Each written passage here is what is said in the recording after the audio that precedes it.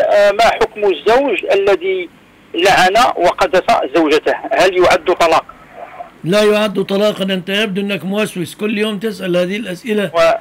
و... عليك. أنت ظلمت نفسك.